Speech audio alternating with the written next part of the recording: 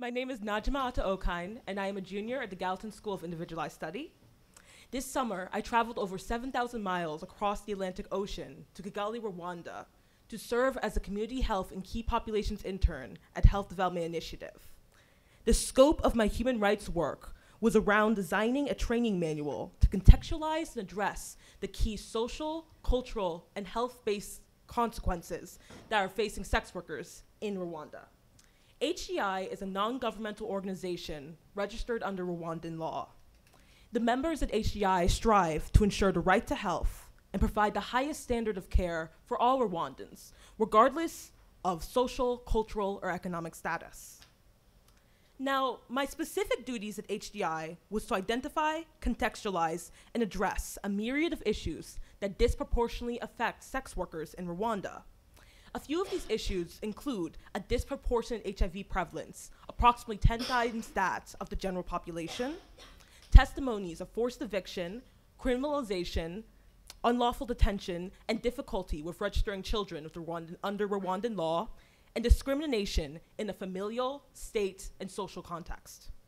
My vehicle response was a training manual that included a detailed overview of issues concerning sex workers, a, sensitive, a sensitivity training module for community health workers, a series of workshops to be presented by HDI staff and peer educators for sex workers, and a proposal of possible remedies, including mobile VCT and wellness counseling to increase access to healthcare for sex workers both in the city and in rural locations, increase access to legal aid, increase access to worker based safe sex barriers, including internal condoms, and finally, recommendation to decriminalize sex work.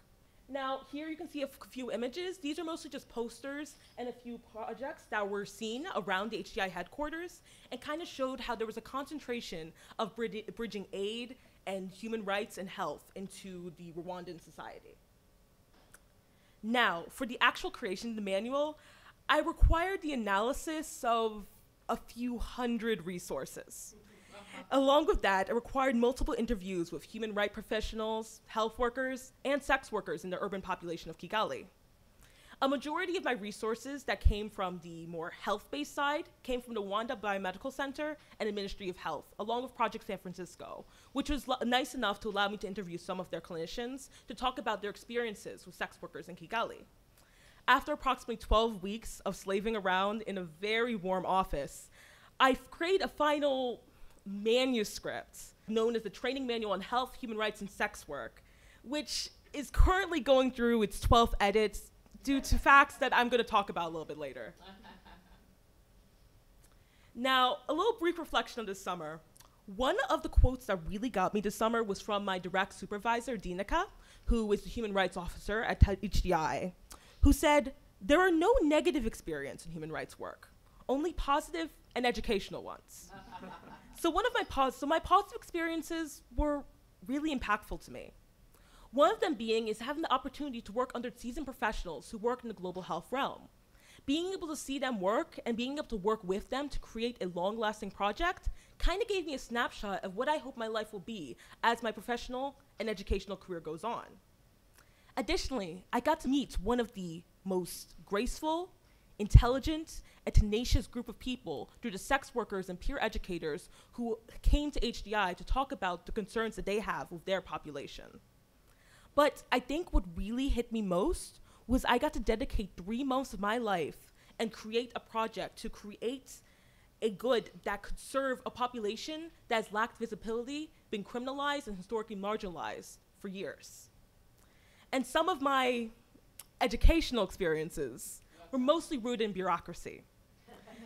One of the biggest things I noticed is that getting project approval, pretty hard. Getting project approval for a group that has been criminalized, even harder. It took me about eight weeks before I could even get any word of being able to talk about sex workers without interviews approved within Rwanda. Additionally, working in the country with a pretty bad history of upholding free speech was also very difficult. As you can see, with having a 12th edition of this manual, I still have to move, uh, remove about 80 or so pages that show criticisms to the state, which kind of showed me that sometimes when you want to help people, it's not gonna happen quickly, and it's not gonna happen where it's relaxed, but it's a slow and long and highly rewarding process. Another barrier that I did face was a language barrier. Now, I speak English, Twi, a little bit of French, and a little bit of Kinyarwanda, which was easy enough to talk with health professionals, human rights professionals, fellow interns and staffs at HDI, but wanted to serve a population of sex workers that come from a very diverse backgrounds, not being able to sp speak fluent Swahili or to be able to speak fluent Kinyarwanda left me having to use translators, and I felt as if I could have served and advocated for this population better if I had those language skills. But it also gave me learning experience to know that if I'm going to go out in the field again, I will ensure that I have those language skills required so I could properly interact with the people that I wish to assist. Now, how did the International Human Rights Framework help with my specific project? Well, once again, there are some positive and there are some negative impacts of this framework. One of the biggest positives I noticed is that hu international human rights framework, specifically from the UN, asserts the inalienability of human rights to all people, including criminalized groups. Now, in Rwanda, sex work is criminalized, but being able to use the ethos and be able to use the authority of something like the UN or WHO to say that these individuals also deserve rights went a long way when speaking to members of global health organizations or parliaments. Additionally, certain suggestions from these international health organizations were very applicable in Rwanda. For example, there was a protocol by the WHO that was for how to reuse internal condoms multiple times through a washing protocol that was meant for Southeast Asian sex workers. But we found very popular with sex workers in rural regions of Rwanda because they found that instead of having to buy a condom every single time or trust that their client would have a condom, they could have a single internal condom and wash it five to six times over a period of a week and control their own safety. But unfortunately, there are also pitfalls to the idea of an international framework. It doesn't take into consideration the history of the country. Rwanda experienced one of the deadliest genocides only 23 years ago. Most millennials weren't even born in the country.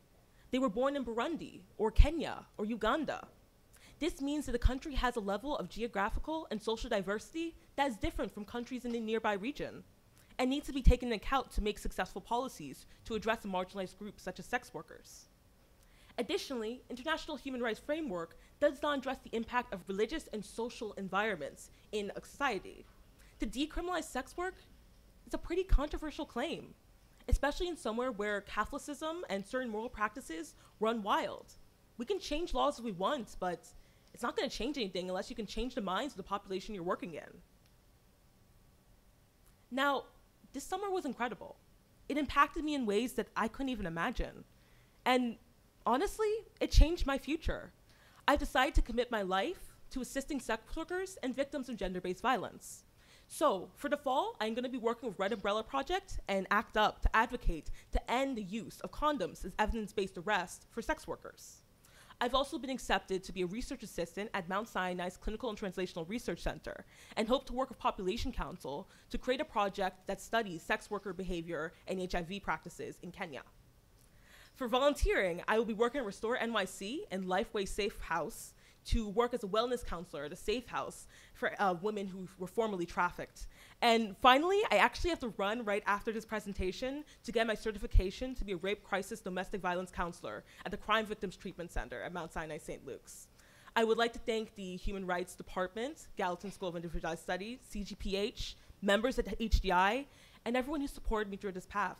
And for anyone who's thinking of apply, please do. Because good or bad, you're gonna learn a lot about yourself and you're gonna do a lot of real good. Thank you so much.